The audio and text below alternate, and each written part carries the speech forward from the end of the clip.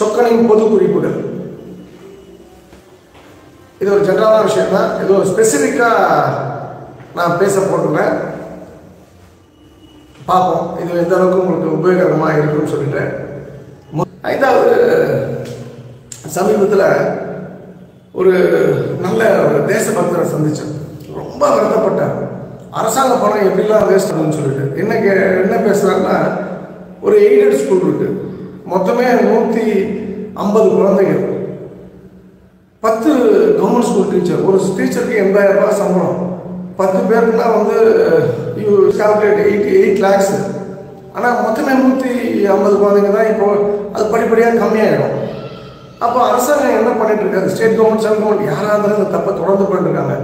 ஒரு அது எதுக்கு வந்து எய்டட் ஸ்கூல் நடத்திக்கிட்டு அது கவர்மெண்ட் அந்த டீச்சர்ஸ்லாம் ட்ரான்ஸ்ஃபர் பண்ணி அவங்க ஃபுல் ஃபேஸ் வேலை கொடுப்பாங்க இல்லையா?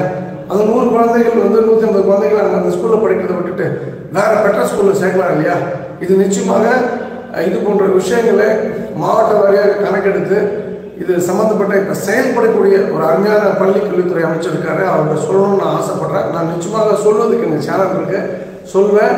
ஏன்னா அரசாங்க பணம் வேஸ்ட் ஆகுது. அரசியல்வாதிகள் லஞ்சம் வாங்குறாங்க கொள்ளடிக்கிறாங்கன்னா அது எனக்கு தெரியாது. ஆனால் அரசியல்வாதிகள் கொள்ளடிக்கிறத நான் பார்க்கல லஞ்சம் நான் பார்க்கல. ஆனால் என்னுடைய சக மனிதன் அந்த அரசாங்கத்துடைய பணம் ஏன் பணம்னு சொல்லிட்டு திருடுறாங்க பார்த்தீங்களா? இது கல்வின்ற பேரில் இது வந்து அழிக்கப்படணும் ஒழிக்கப்படணும். ஆகவே தயவு செய்து இந்த ஐந்து விஷயங்களை நீங்கள் வந்து ஐந்தாவது விஷயம் தவிர்த்து மிச்சம் எல்லாமே நீங்கள் ஃபாலோ பண்ண விஷயம். ஐந்தாவது விஷயம் ஏன் சொல்கிறேன்னா எங்கெல்லாம் பொது விஷயங்கள் இருக்கோ அதில் நீங்கள் வந்து ஒரு ஒரு விஷயமாவது இந்த உலகத்தில் சேஞ்ச் பண்ணுன்ற ஒரு எண்ணம் மட்டும் நம்ம லைஃபோட நோக்கம் நாம் வாழ்வதற்கு மட்டும் இல்லை நாம் வாழ்ந்து நாம் செத்து போகிறதுன்றது ஒரு சாதாரண விஷயம். நாம் வாழும்போதே எல்லோரையும் வாழ வைக்கணும்.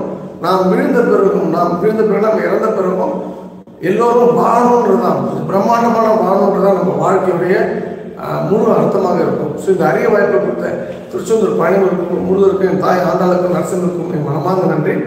சர்வம் கிருஷ்ணா அர்ப்பணம்